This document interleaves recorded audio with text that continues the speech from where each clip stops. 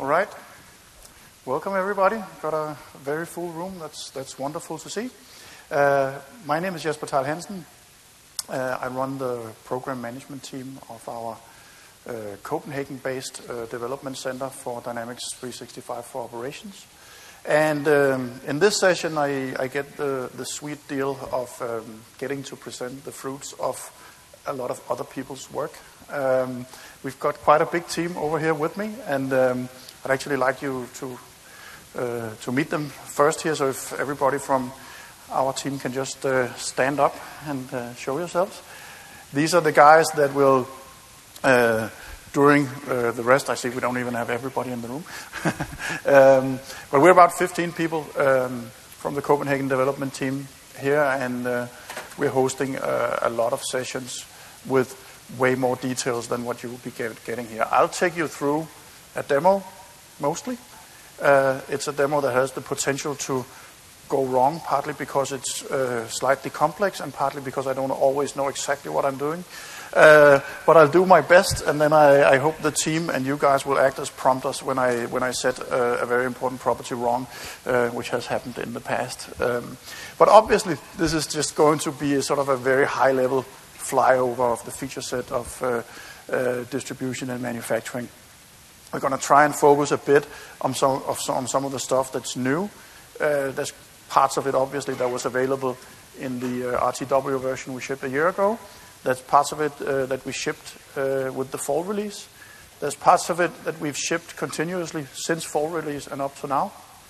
And then there's parts of it that's going to be in the uh, spring release uh, scope. Uh, the deeper dives on, on, on, dives on each of those uh, areas will end with a set of slides that introduces um, the sessions, and I have Philippe Jacobsen and Conrad Fogwinman with me here, and they will sell you on which sessions uh, to, to, go to to get the, the right information for the areas that you're interested in. But I'll just start with um, pitching what Sri also did. Uh, our roadmap site, roadmap.dynamics.com.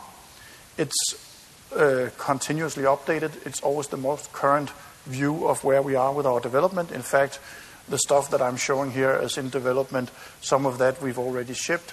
Uh, so we're updating the roadmap slide faster than, I can keep the decks up to date. So go to the roadmap site uh, and take a look at what we are working on.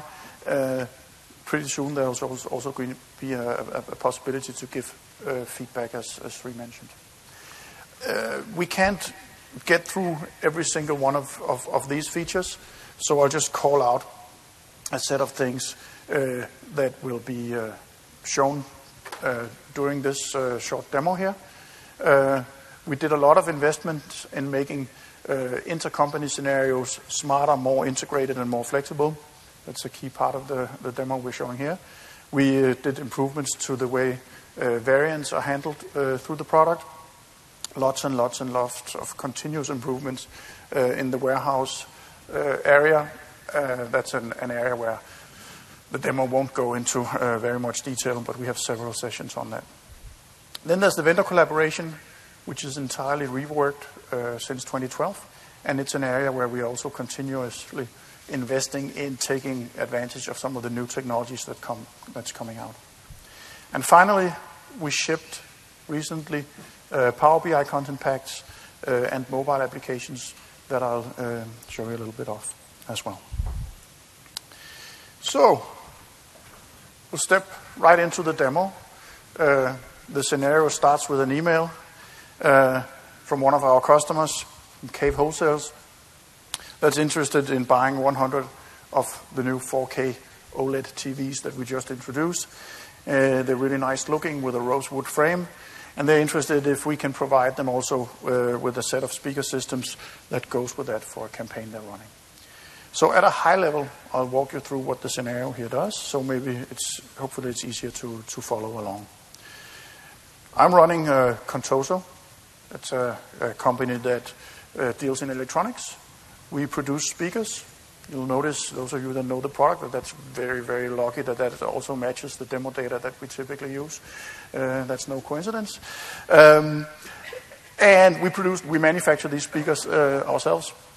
The TVs um, we, we uh, we procure and sell.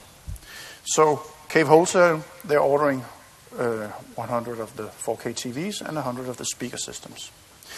Now, the speaker production involves Uh, consignment stock.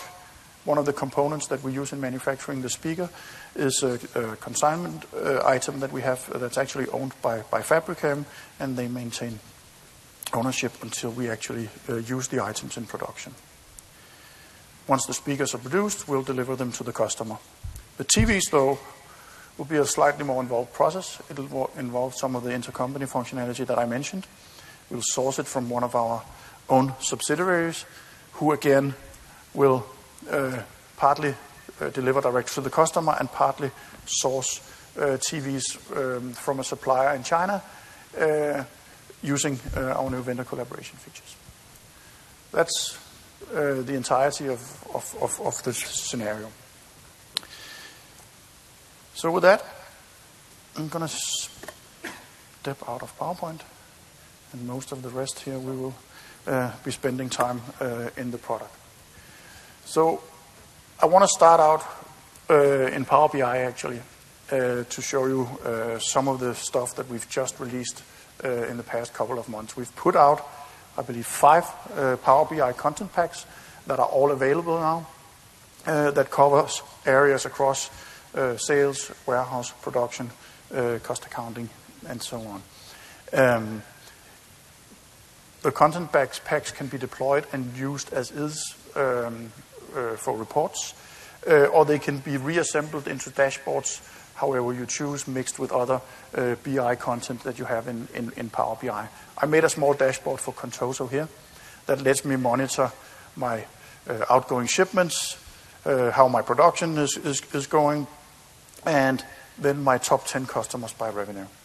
So Susan, who receives this email, can see that actually Cave Wholesale is here on our top 10 list of customers. If she clicks, she's taken into uh, the uh, report that shipped as part of uh, the sales and profitability content pack that we just released and can examine further, drill down, use all of the Power BI functionality um, to further study their performance.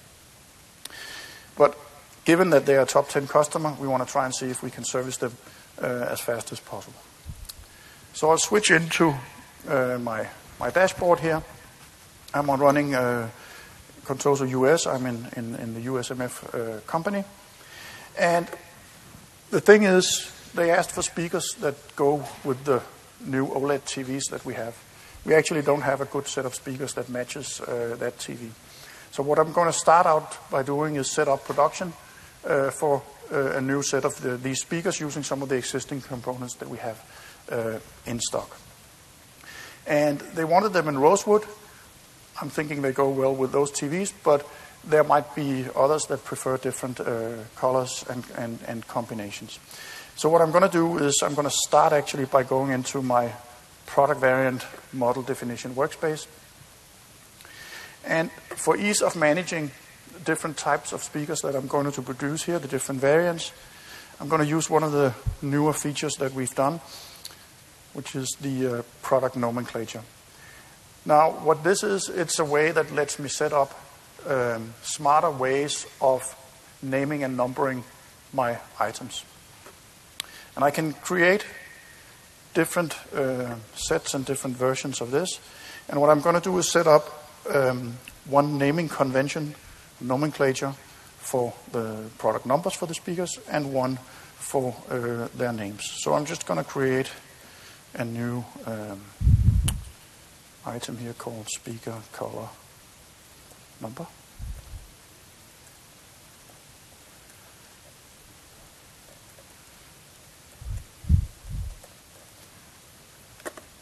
And then I can pretty flexibly here add different components to this nomenclature. Now, for the speaker color numbering, I'd like to just use the product master number and then um, postfix it with uh, the color of the item. So I'll add a text constant here as well. And just put dash C colon like that. And then I can add the color ID. So that's the nomenclature I'm going to use for the um, for the product numbers. And then I'll create another one here that I'll call speaker color name. Just call it name. And for that, I'd like to make a more human-friendly uh, naming. So what I'll do here is I will put the color name, a text constant, which is just going to be a space, and then the product master name. So in that way, my speakers will be named something like black speaker and rosewood speaker, but the, the, the numbering will be made slightly different. Can sound guy, can you do anything about the echo that I'm having here? No? All right. We'll just have fun with that then. So I've created these two different uh, numbering schemes or naming schemes. So I'm ready to create my, my product. So I can do that from the same workspace. So I'll create a new product master. And we'll just call it uh, TC for Tech Conference here. TC SPK for Technical Conference Speaker. And it's going to be a wooden speaker like that.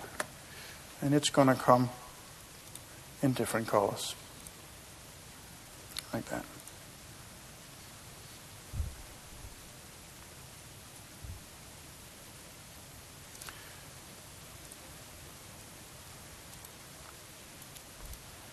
Just going to set the required fields here,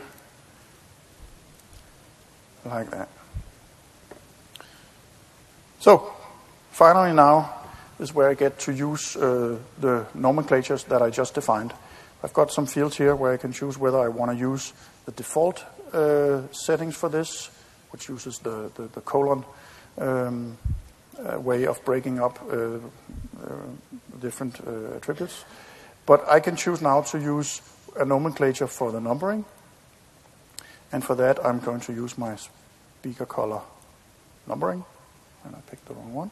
Speaker color number. And for the name nomenclature, I will use the speaker color name, like that.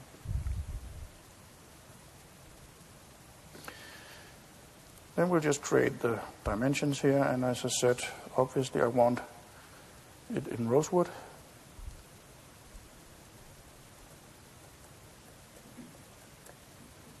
It's going to be called rosewood. It's rosewood. Like that. But I'll also create another one in black. Like this.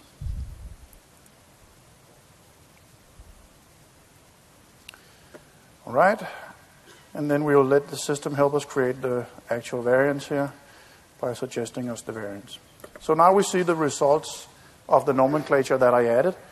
My product numbers becomes TC SPK dash C colon black and dash C colon rosewood, and the naming automatically becomes a black wooden speaker and a rosewood wooden speaker. Pretty nice.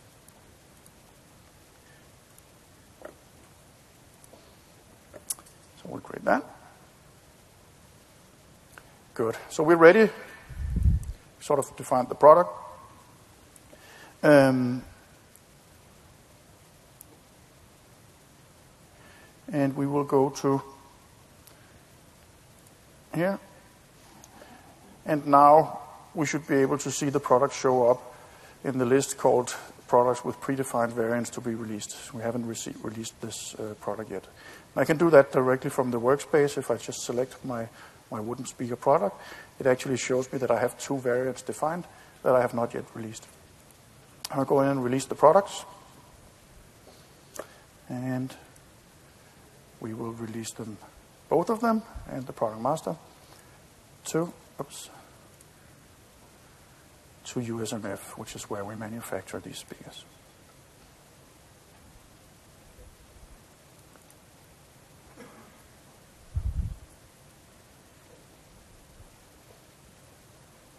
like that. So now, let me get back to my, I'm getting, uh, my prompter is.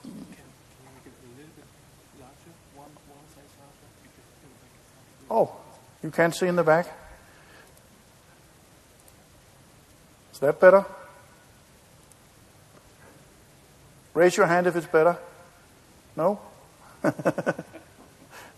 what I, I can use I can use the Dynamics 365 for operations feature and actually make everything bigger. How's that? That got a, that got a response. That's cool. So now I just have to scroll a little to find my workspaces. Um, so I will go into a release product maintenance now. And um, in here, I can see recently released products. And here my technical conference speaker, my wooden speaker, uh, shows up. So I'll just open that.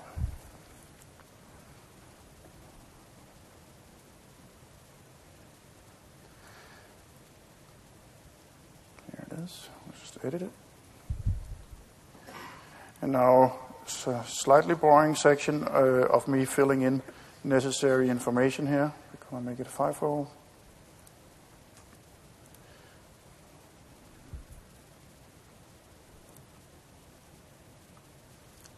It's an audio product. We're going to set up how to manage this in the warehouse. Oh, and this is where my prompters didn't remind me that I did this the wrong way. because I didn't get the uh, right item group on it. So I'll just have to go back. This exact same happened, thing happened the first time I did the demo, so now I know um, what to do.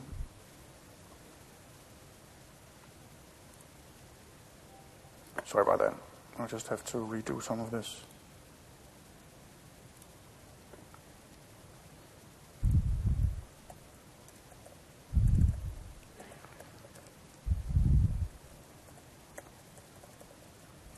I'll be fast. You get to see it twice.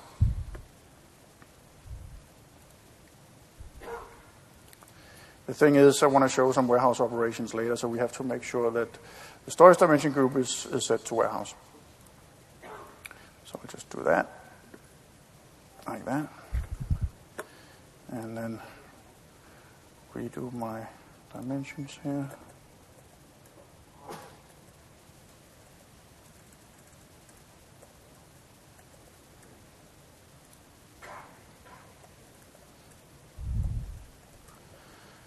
The last time I did this, I said to myself, I'm just going to prepare a product where I've already done this in case it happens. But then I thought, ah, why would it happen again? You'll remember it next time. But no. Oops. Where should you go?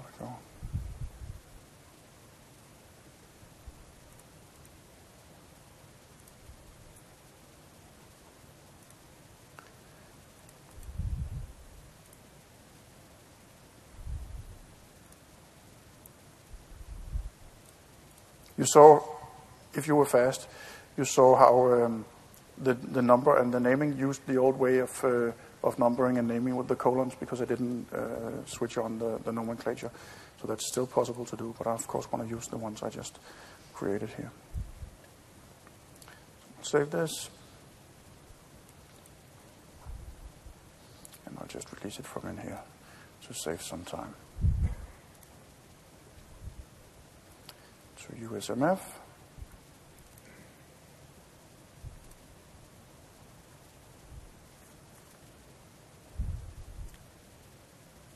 All right. Fingers crossed.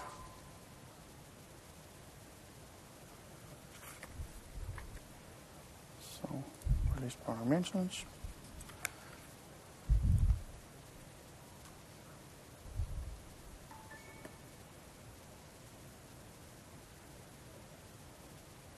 Did I not release it?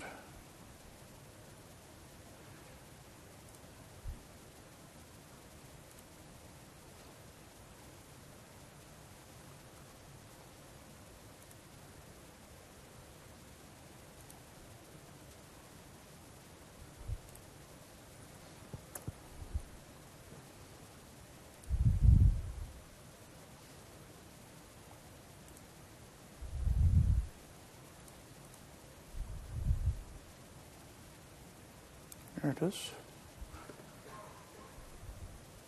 All right. Just go to release products.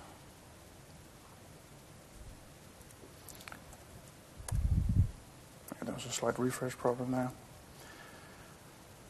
Here's my speaker.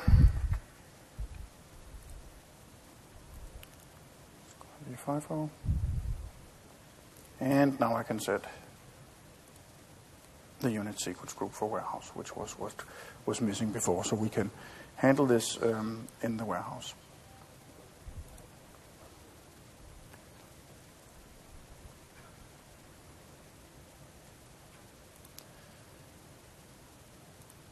Set the item group to audio.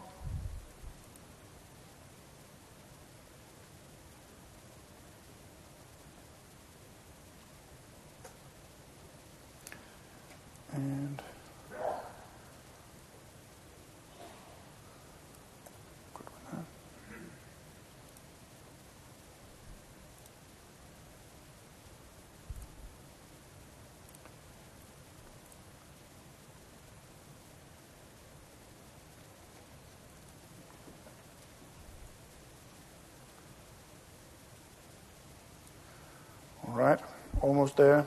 I apologize for this roundabout way. We just had to do it twice. Just had to set some defaults here as well.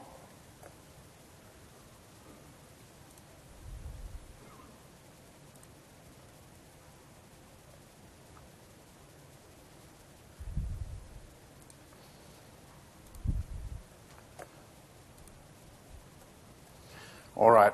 So we set the default site and warehouse to where we're actually going to be working.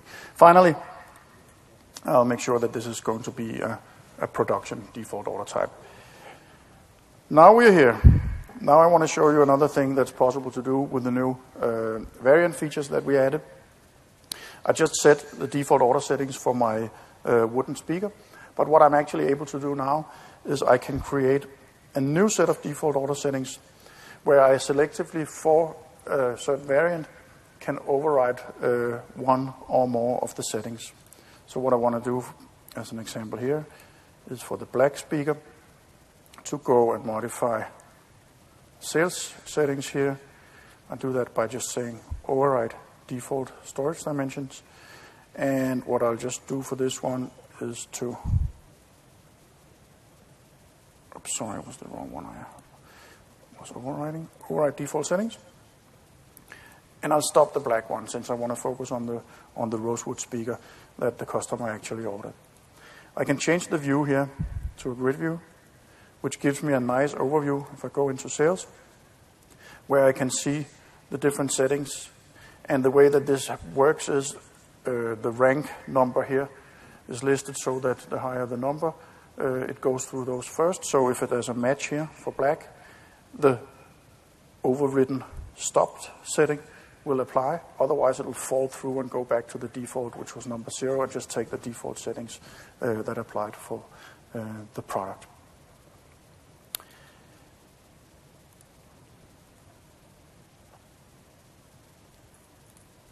Let me just exit out of this. All right. So that was all of that. Now we're going to make sure that we are ready to actually um, produce it. So I'll go into um, product readiness for discrete manufacturing, yet another workspace. And um, here I've got help in some lists as well, where I can see any products that's missing active BOM versions. And here both of my variants uh, show up, and directly from in uh, the list here, I can pick my uh, Rosewood speaker and create a new BOM and BOM version for that. So let me create a BOM. And here to save you from watching me type even more than necessary, I'm just going to copy uh, from an existing one that I prepared in advance. Just this one. It's the standard wooden speaker uh, BOM that I created.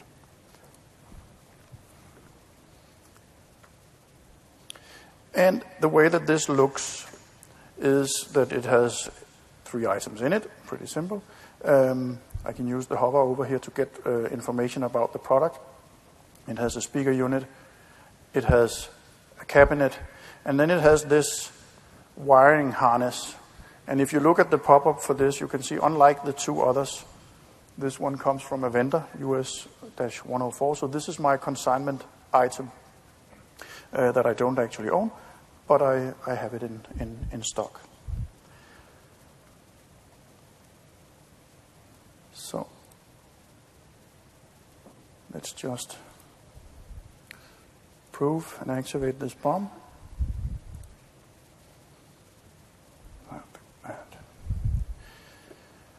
Similar to the missing active BOM versions, I have another list on the workspace that shows me the same thing, but for routes. So my two variants here are also missing uh, active route versions. So I'll just create a new one here, and it's going to be the wooden speaker route. This one I'm not going to copy. I'm actually going to um, uh, create the route here real simple. And what we will do is we will create one operation that is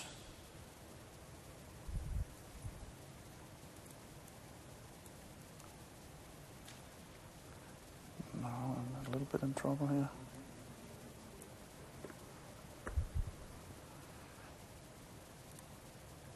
I think I everything got so big that I'm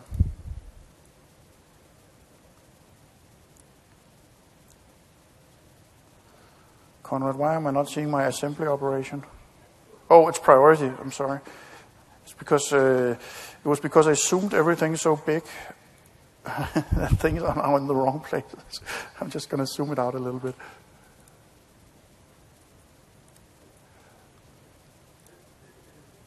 All right, here we are.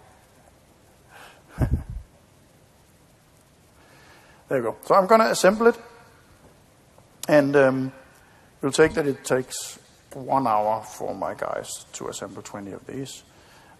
And then the second step in this extremely simple production is going to be uh, packing.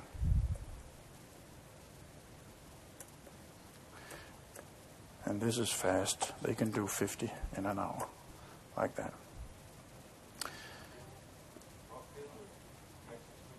Thanks. See, that's what I like.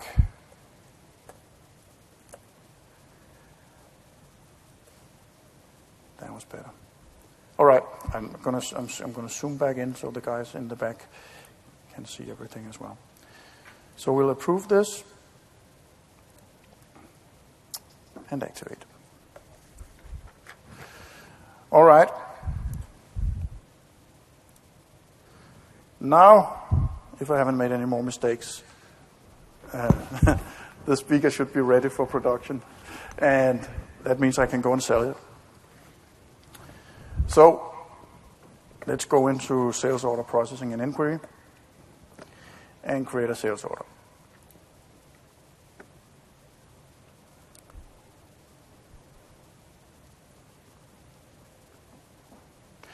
So the customer was Cave Wholesale, we remember. So I'm just going to type in cave. There he is. Like that. And now let's find my speaker. I'm just going to type in Rosewood in the item number, and it actually searches across all of my items um, that has that uh, uh, that has Rosewood in it, so to speak. You can see all of. I've done the demo several times, as you can see. Uh, I've messed them up in different places every time, but usually we get through it, so we hope we will do that again uh, today. But the one I, I ended up creating was the TC Speaker 2 here, so I'll just pick that one. And they wanted 100, like that. So that's it for now. I know they also wanted the TVs, but let's get started on producing the speakers uh, first.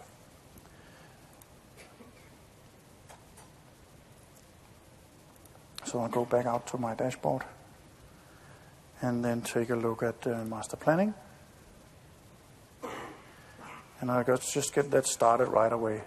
I'm just going to run a, a net change minimized on my dynamic plan. It shouldn't take too long because the team has done lots of optimizations on uh, master planning recently. Uh, it now only takes five seconds for me, at least. All right. So my sales orders or my production order should show up under urgent here. Uh, so let's just search for my item. There it is. So this is my production number. Oh, plant order, sorry. Oops. And um, what I'm going to do is I'm going to, uh, again, I'm a little too zoomed in here.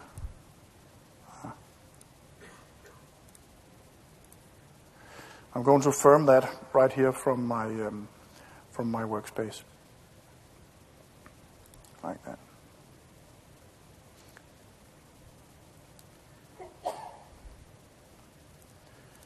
And now, in my firming history here, I should be able to see my TC Speaker 2 production here for 100 items. And for safety reasons, I'm going to make a note of the production number P000910. That could come in handy later. So let's open it.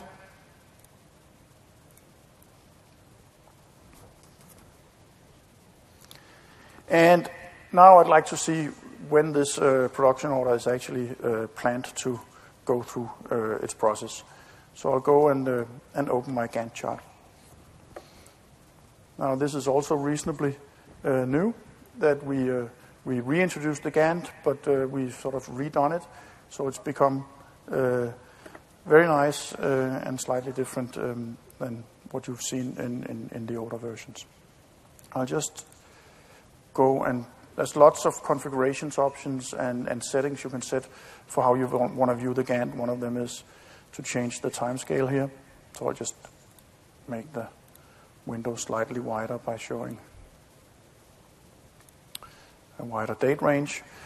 And here I can see, here's my, uh, my production order. It was uh, P00910, and it's, it's highlighted in a darker blue color than the rest. Now I have a number of different uh, things I can do here to optimize how I want production. You can actually see that I've got some um, a, a, conflict here. I've overbooked one of uh, one of the resources. I can um, I can highlight all of the lines uh, where that, that resource is, is working on, and I can arrange uh, the jobs if I want to. I can also just select one of these and just drag them later, which now removes the conflict, and I've got my production order uh, taking place safely earlier so I can get that done. Um, if I move uh, this one uh, and it, it, it, moves to a different uh, spot here, I can schedule next jobs and it'll automatically move the packing operation to match with when I'm done with the production. Yeah, I heard a wow. I think it's pretty cool. Too. So I'm going to exit out. I'm going to change that. So let's take a look at, so one, one more thing before um, we actually uh, start this um, production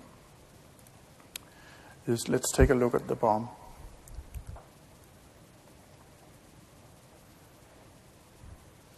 And look at our consignment item. So this was the wiring harness, and remember we actually didn't own this. And if we take a look at the inventory transactions behind this, you'll see that the owner is US-104, one of our vendors that maintains this consignment stock. So um, to be nice, I'm going to take ownership of this before I actually uh, start using it in a production. This is something that would, would not always would not be something you do for, for every production, but something you maybe do uh, once a day in the morning or something like that. For the planned production orders, you can do a, a ownership change for the consignment stock. I have a shortcut to it here. I'll go into inventory ownership.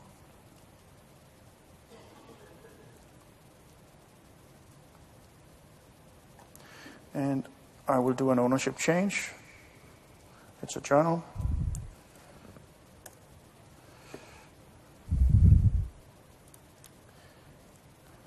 And now I don't actually have to type this everything in manually and create it. there's a nice helper function here that can create journal lines from production orders. So as I said, once you've got the day planned out, you go and do the ownership change for, and you have different options here. I'll say everything that's picked and reserved physical.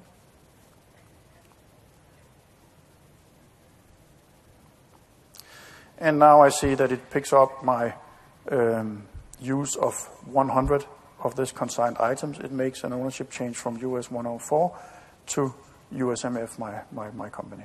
So once I post this, I'm sure now that um, all of the financial uh, transactions behind this production will hit my books and my costing sheet and so on.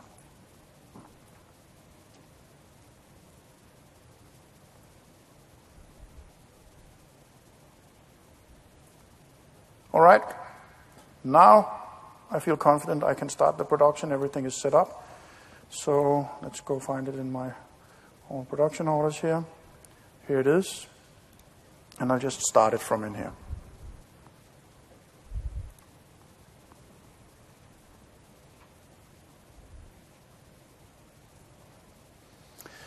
All right. That was the speakers. We're not completely done with them, but now we're manufacturing them at least. That's the first step. Then there was the TVs. Uh, so I didn't do anything about uh, getting those uh, to my customer yet. So let's go back into my sales order processing and inquiry. Now, my sales order is going to show up here as an unconfirmed sales order to Cave Wholesale, so I can open it again from in here. And I'm going to add a line um, to order the TVs. This thing pop up there. And it was an OLED TV, so I remember, so I'll just search for OLED here. Here's my 4K OLED TV. And they also wanted 100 of those, like that. Okay, now, not only did they want 100, they also wanted them reasonably fast because they were doing uh, a campaign. So let me go in and see how I can actually deliver these items. You see, at the moment, the delivery date is actually a little over a month out. That's probably not going to make them happy. So I'm going to go into delivery alternatives. Delivery alternatives is a function and a, and a screen that's gone through a couple of iterations to get to uh, where it is today. That gives you great flexibility and insight across your entire organization about where you have available inventory and how you can uh, deliver it. Now, initially here, I just see that I can I can't deliver anything until um, in a little over a month. Uh, and if I open my availability information, I can see that that's because I have uh, a tiny amount of TVs in my own uh, inventory. I have only five, so that's not going to fly. Um, but I can um, I could try to include partial quantity it's going to pick up the five that I had and say, well, we can actually ship those out uh, right away. That's probably not going to make much of a difference, so I'm just going to going to remove that again. But then I can include procurement. So that's going to look through my uh, intercompany availability. And what it shows now is that I have uh, the possibility to deliver a little bit earlier from my German subsidiary. Uh, they're delivering from, from, from stock. I could actually even ask them to do a, a direct delivery, and you'll see that the dates get pulled a little bit uh, further back in. But it, it's still not enough. If I open their availability information, I can see they've got 40 in stock. Now, that might actually be enough that I can ship the 40 out to the customer, he can get started, and then I can ship the remaining 60 uh, as soon as possible after that. So what I'm going to do is I'm going to try and break uh, this up into two and ship 40 TVs uh, as soon as possible. And if I go back into my delivery alternatives now, here, and include procurement, I can see now that because I have the 40 in stock at my German subsidiary, I can ship this out uh, very fast.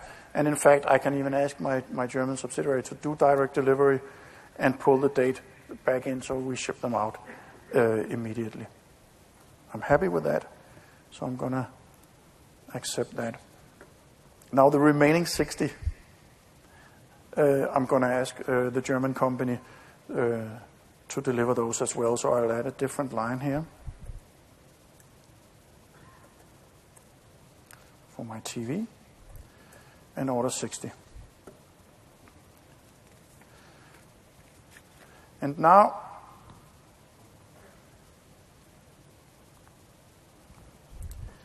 I'm going to ask them to direct deliver those as well as soon as they are able to. And I can see if I go to my delivery tab here that that's sometime in April, a little earlier than I was able to myself, but still maybe not uh, something that's, that's absolutely perfect. So what I can do now is I can use uh, the navigation uh, directly from the form here to take a look at the intercompany sales order that was now automatically um, generated in uh, the sourcing company here. So I'll click intercompany sales order.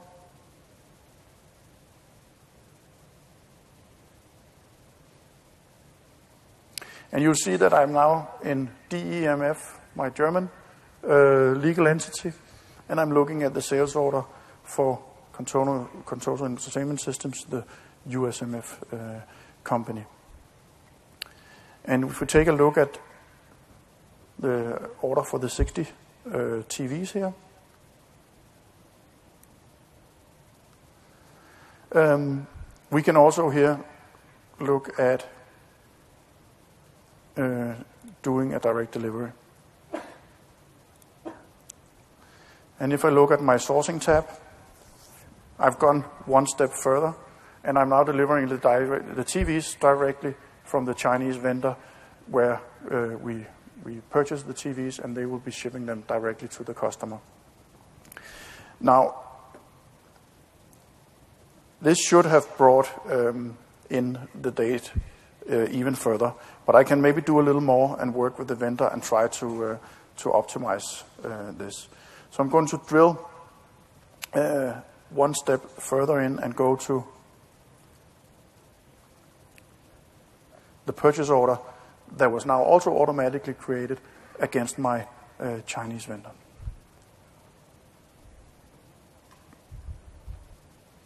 So here's the purchase order. It's for 60 of uh, the TVs as expected. And if we look at delivery, I still have the delivery date that was April 6th, uh, a little bit uh, further out than I would like. But what I can do here is I can try and see and if I can work with the vendor and say, could you deliver these next week? So I'm going to put in March 20th as a confirmed delivery date. Now, very rarely does it work so that you just choose whatever date you want and then the vendor just uh, d- delivers on time. So what I would like to do now is to make sure that I, I can actually do this is to use uh, the vendor collaboration feature to make sure that the um, the vendor is able to do that. So I'm going to go to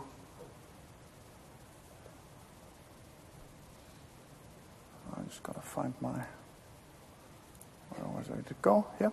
Vendor collaboration, and I will send this for confirmation by the vendor first. So I'll click send for confirmation.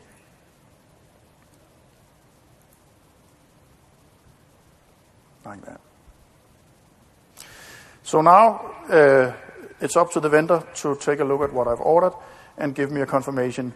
And for that purpose, I'm going to now log on as the vendor. So I'm just going to open a new and private window and hit the same, uh, the same Dynamics Cloud instance that I've been running off. But I'm going to log in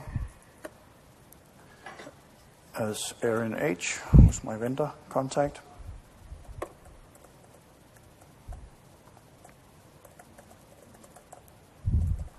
Like this.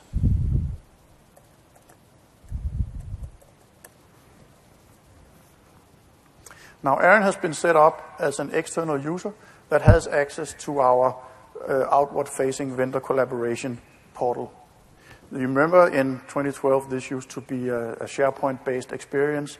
Since we now have a complete uh, web interface with access to everything directly in the product, We've just made a, workspace for the vendor, and they can access things with the same UI, and we can enable as much functionality as we'd like there. Now she can go into a purchase order confirmation workspace. And here's, uh, here's the purchase order uh, that I just sent for confirmation. Now, here's the potential for a whole flow uh, of things happening. She can uh, take a look at what I've asked for, and if we look at the, um, the line for the TVs here, she can see ah, uh, they're asking for it on March 20th.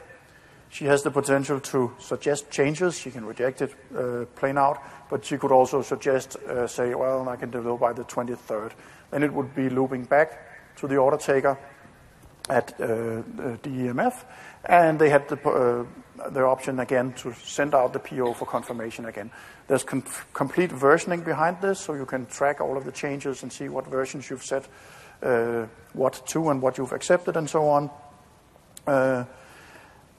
But for the demo here, we're just gonna we're just going to accept uh, the PO with the orders that was put in here. I can type in some notes that goes back to the order taker. I will do my very best. Click OK. There. So I'm just gonna close this down. Now this, uh, the vendor collaboration, it's an area we're investing a lot in, uh, and we're in exploring also ways that we can use a lot of the new technology for, for apps and the CDS-based uh, uh, functionality that's, that's coming out, some of the stuff that Sri showed uh, in his keynote. So uh, expect more information of that later. All right. Let me go back to my uh, dashboard here and take a look at my purchase order preparation workspace. And here I can see I've got different lists that again organize my POs by what state they're in. And one of them is in external review, requires action. Um, below it, there's one. Yeah, now I'm in USMF, so let me just switch to the right company.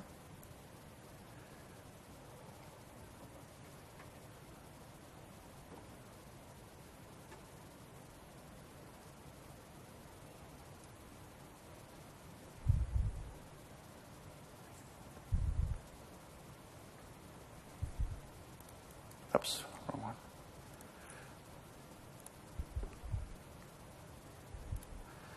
Here we go.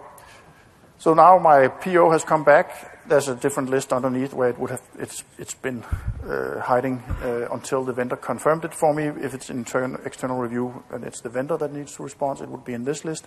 But these are the ones I, uh, as an order taker, uh, need to act on. And directly here from my workspace, I can see the response that the vendor has sent. And I can see that she's accepted the date I put in, and she's even put in a little note that she'll do her very best to deliver it. So that's super nice. So I can confirm the sales order directly from the workspace here.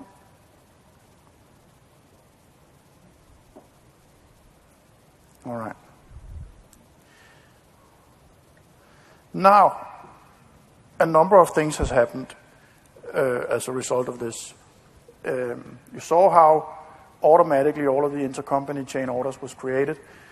But as this moved through the chains down to the vendor who ended up accepting the delivery date, all of this information gets updated all through that chain. So I'm going to attempt something now. That also has a slight potential of causing problems, but let's live a little. I'm going to run some of our mobile applications. As I said, we've shipped uh, in the past couple of months here. Um, and I'm going to try and share my screen using advanced technologies.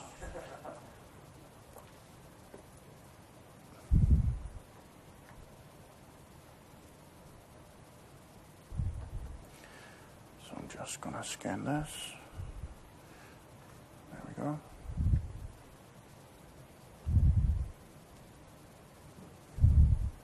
Uh oh. Are we not on the same Wi Fi network? We are.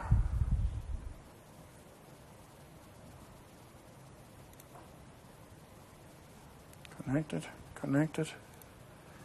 Hmm. Let's try again.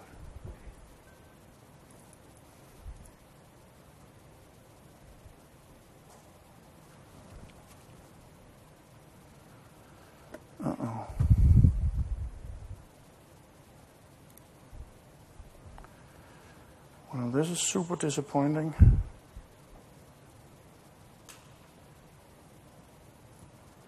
Just going to try and turn off Wi-Fi.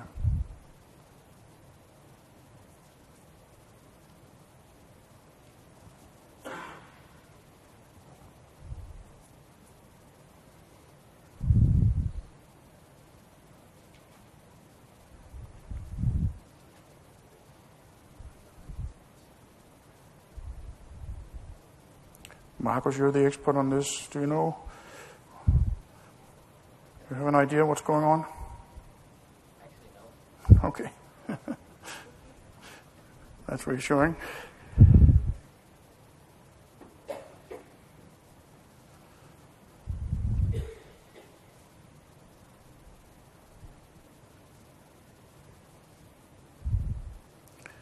All right, we might have to give up on this, and then I will show you the apps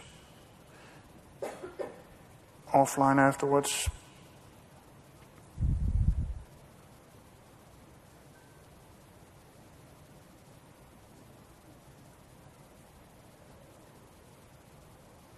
Yeah, it doesn't seem to want to connect. What I would have showed, so I'll just mention it, um, is um, first of all, uh, Susan, who put in the sales order to begin with, she's of course interested in following up and see whether all of this um, date uh, manipulation and getting the, the items available earlier uh, was successful. In the scenario, she's on the bus on her way home. Given that this doesn't work, we're going to have to keep her in the office a little longer and do it actually in the product here instead. But um, those of you in the front row here can at least see I've got the different app workspaces uh, here. We have one that's for inventory on hand, where I could go in and see uh, the same information that I saw about the TVs, that we only have five in stock, for example. But I also have a sales orders workspace where I can actually now go in and see the sales order that I just put in and where all of the information has propagated back, uh, and I'm able to go in and see that my delivery date has been uh, confirmed and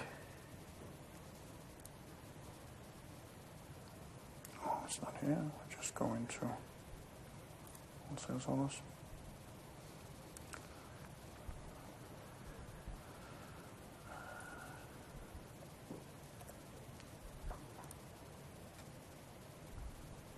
Oh.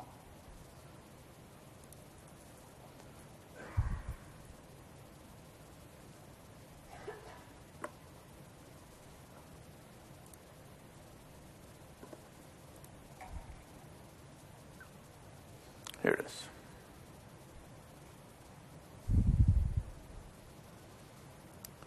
And if I look at the line with the 60 TVs, I go to my delivery tab, you'll see that my confirmed receipt date has been updated all the way back.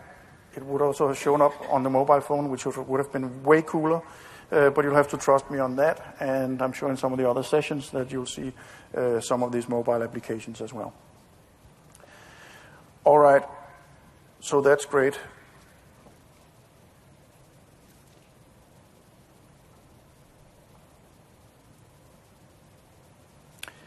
We're going to go back now. I'm going to try another mobile experience, live a little. Um, and in this case, uh, we're going to check in on the speaker production and see if they're done. They are. So I'm going to use um, the warehouse mobile device here uh, to log in and actually report uh, this production uh, finished.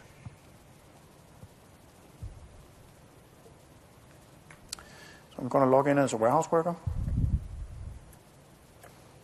Here. Now, I, I did show this a little bit in the keynote as well, so if you saw that, you saw uh, at least just one uh, little flow through this. But um, this application can do a, a, whole lot in the warehouse. It's completely configurable. Uh, Marcus and Philippe will show a lot more uh, of it later. But what I'm going to use it for here is to um, go into use it actually in my production to report my uh, production order is finished. And this is where you say I have to click it, Marcus? Yep. Yep. So I'll type in my production number here. Again, I could have scanned this from a, from a piece of paper.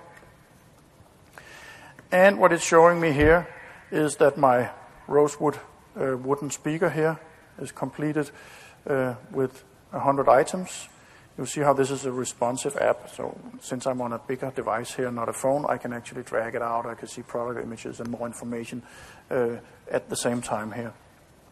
Um, I'm going to do that. Note down uh, the license plate number here as well.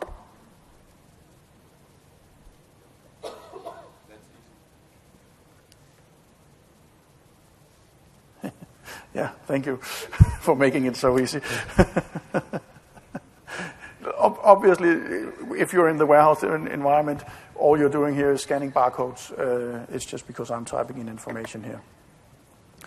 Um, so we're going to pick those up, and they will be put um, in the warehouse.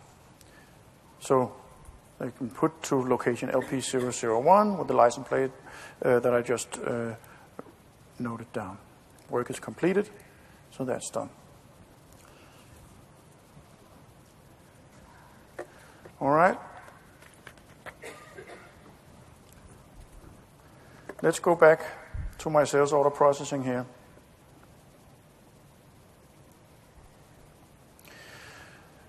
Speakers are ready. The TVs are taken care of. All I need to do now is actually ship. Uh, the only thing that was my responsibility was, which was the speakers um, that I produced. And to do that, um, I'm going to go into my, uh, my sales order here and release the entire order to the warehouse.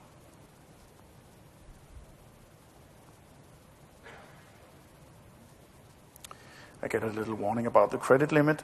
That's because Poor Cave Wholesales has been a demo customer through many iterations of this demo, so now they've spent so much money they've exceeded their credit limit. But we're going to, uh, to try and ignore that for now. And let's take a look now at the warehouse work generated.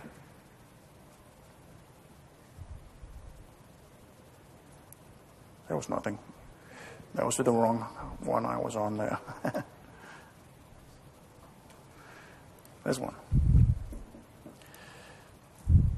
Good observant uh, helper there, beating my own team to it again. All right. Here's the work generated. Um, we can see that uh, it involves taking the speakers from the LP001 location in the warehouse where we just put them from production, taking them to a staging location, and once the, the truck arrives, we're going to take them from that staging location and put them on the truck at the bay door.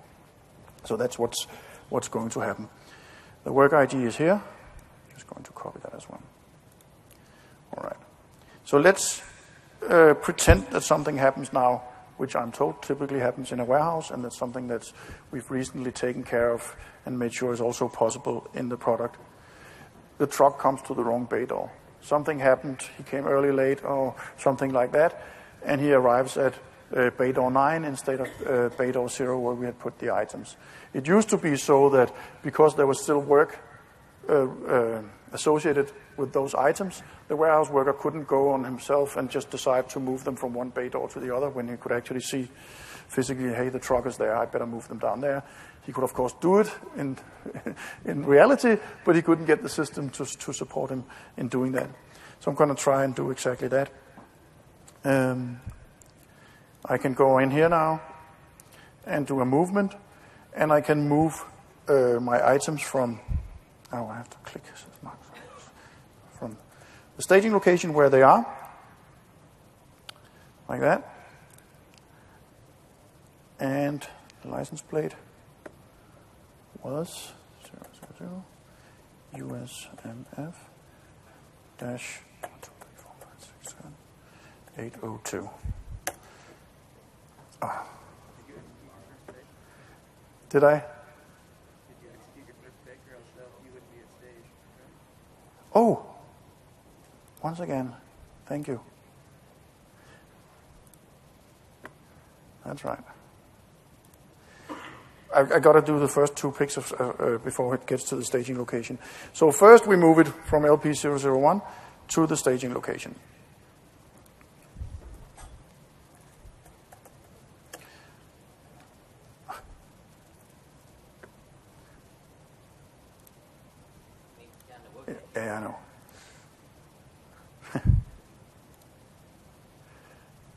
just copied it in here.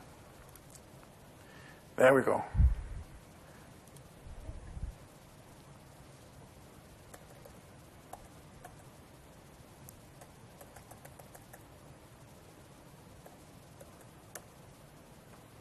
There we go. Put it to the staging location. That's done. And if I refresh my screen here, we can see that the first two items are uh, closed and the items are at the staging location. There's still work associated with them to take them from the staging location to the bay door. And this is where we're going to try and trip up the system. So now we go back. and do the movement from the staging location. And here, thank you system, it automatically picks up the license plate since it was the only thing there.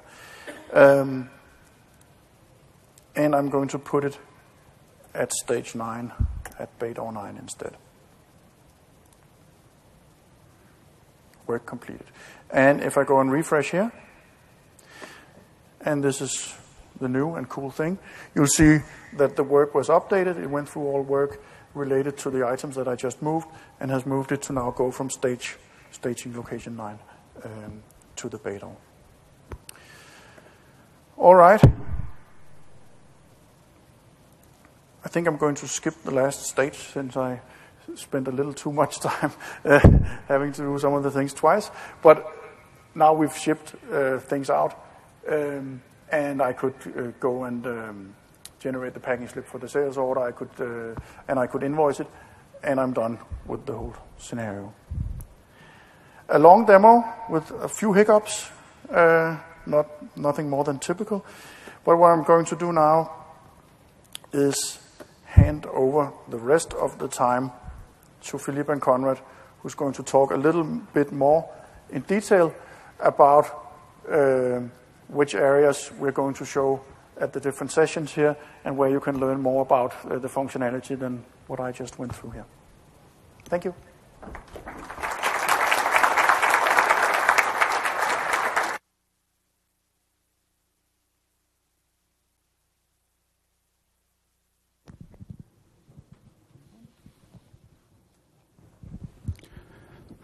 Thank you, Jesper. Um, it was a very nice demo. Sorry that uh, your team there uh, didn't do as well as the team over there. But um, yes, uh, we thought that we have, uh, Conrad and I, one hour to present uh, uh, the program that we have put together for, for, you. But apparently we will boil that down to five minutes each. And um, we have prepared some, some slides that is for each day. So this is, um, and it is focused on distribution on one, one part and focus on manufacturing for the other one. So here I'm presenting the one that are focusing on distribution. And um, I don't have time to go through each of the session. I will call out uh, some of them. And also the, the kind of the, the methodology that we have followed. So we have uh, five warehouse sessions as, um, as uh, breakout sessions. The first one here is uh, an overview of uh, warehouse and TMS. So it is focusing for new customer, new partners that don't know very well uh, the functionality from an overall point of view, although that wants a repeat of that. Uh, then we, drill into uh, a roadmap session. So this is a session focusing on um, from after the fall release, the work that we have done there, and the roadmap. Then I will, um, and the, second session here, the roadmap session, is a repeat session, so there will be one later on, uh, on uh, Tuesday. No, sorry, on, on Wednesday. And the, the last session today uh, about the it's about the work that we have done to integrate the warehouse uh, to the production processes. So this session will not be repeated, and it's uh, the last one during this day. Um, I have done some help figuring out what is the uh, hands-on lab compared to the breakout sessions. So, so the hands-on labs are a little bit lighter in color. We have uh, also supply chain and um, collaboration uh, focus uh, this session here. So the first one here is the order promising. That is, um, uh, Frank will have a, together with uh, Christian um, a session there, explaining uh, a little in detail all the nice stuff that Jesper have gone through. And um, we also have a, consignment stock presentation, And this um, session will be uh, uh, seconded by two hands-on lab on the uh, consignment stock, inbound consignment. So this was for that day. So Tuesday is uh, apparently a little bit more packed. What we have here is the other sessions on warehousing. This is the migrate session that we start up the day with. This one is repeated, um, uh, I think, uh, next uh, day also, Wednesday. Um, we have the, the sessions uh, at 3 o'clock uh, distribution. That is a, the um, session on warehouse where we are focusing on the functionalities that we have added to the fall release. And this one is not repeated. Um, what we have here as a, um, as a hands-on lab, we have various hands-on lab, if, if we completed the hands-on lab for the um, manufacturing part, we have done, um, Sri announced the implementation repeatability work, and some of the stuff that we have done here to kind of show you uh, how it would looks like.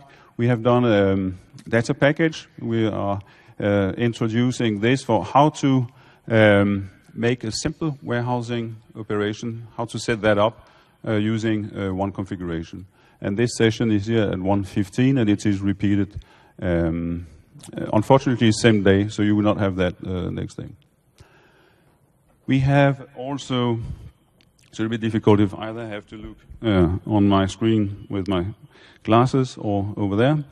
Um, the announce configuring the um, the order promising uh, hands-on lab is uh, on, on, on, the start of the day of the start of the afternoon, uh, 11, no, start of the afternoon here, and also um, next day. We have uh, the only session on TMS uh, on Tuesday, at, at 3 o'clock uh, with some focus on the um, on how the allocation and reconciliation of freight charts works out.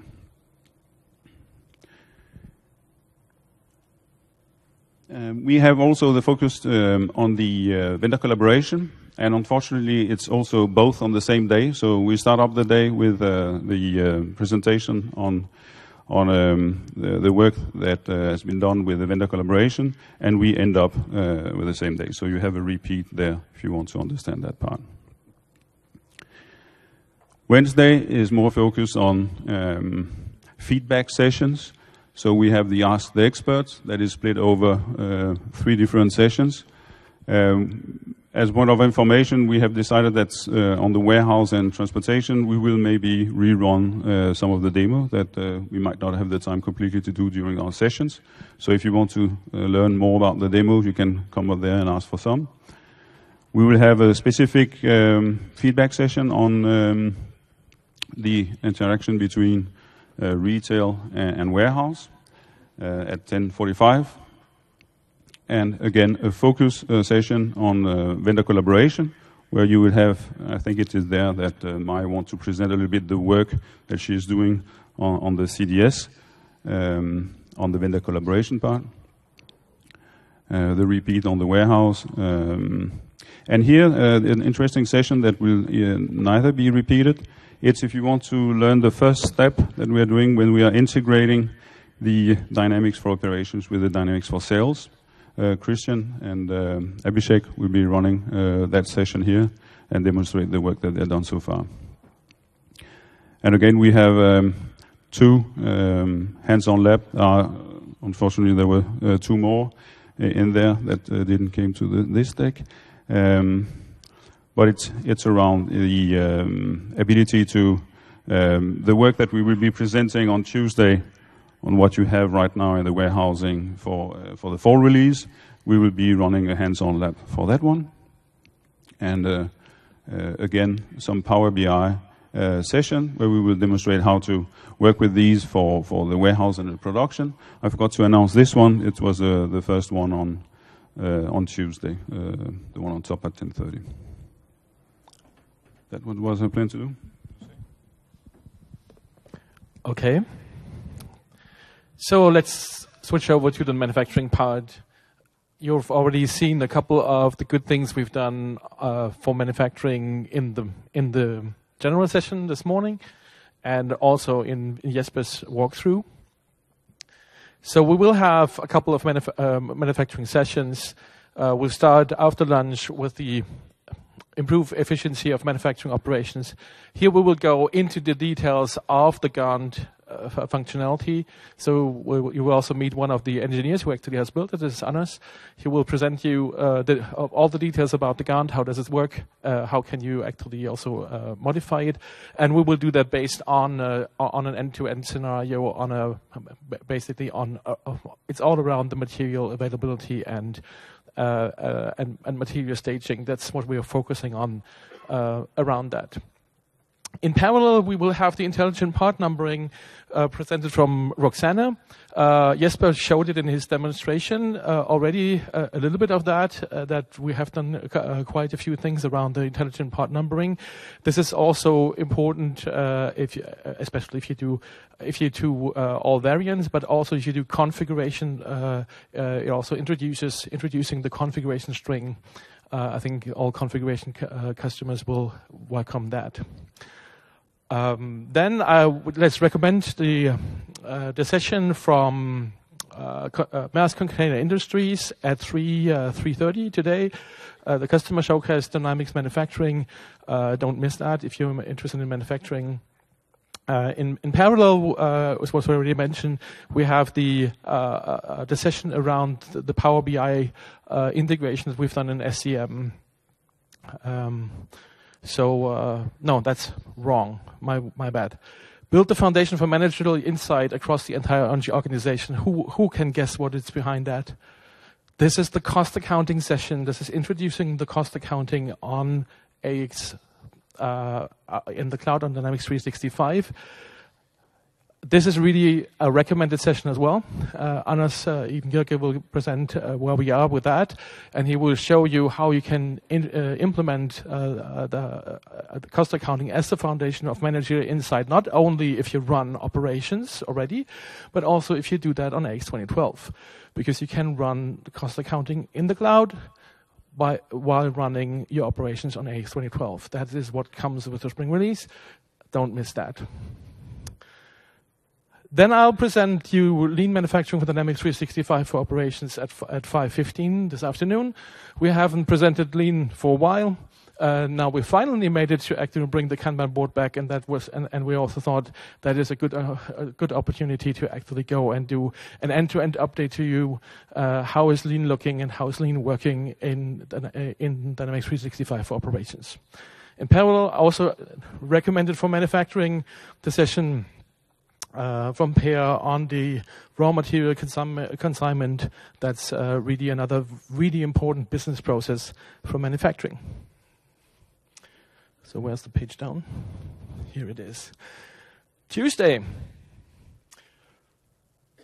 So now comes the session that I must have mistaken from the name using Power BI for create powerful visualizations. Uh, 10:30 tomorrow, the Power BI SCM uh, uh, will be explained how how to build, how to use the Power uh, Power BI uh, from a from a, a, great team from uh, from Copenhagen.